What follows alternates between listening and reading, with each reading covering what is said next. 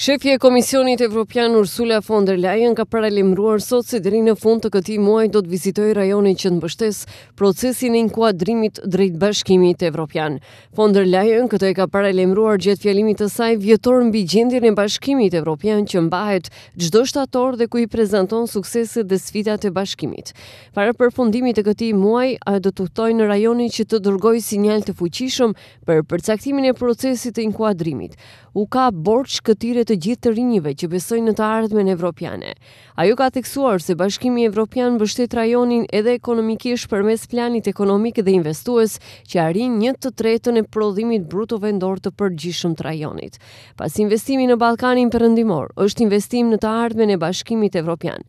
Von der Leyen nuk ka përmendur vendet veç e veç të rajonit siç e bënte këtë shpesh në të kaluarën, veçmas faktin se Maqedonia e Veriut dhe Shqipëria i përmbushin kushtet për fillimin e negociatave me Bashkimin Evropian. Kjo vizitë vjen një javë para samitit të Bashkimit Evropian për Ballkanin Perëndimor, që do të mbahet në fillim të tetorit në Bërdo të Sllovenisë.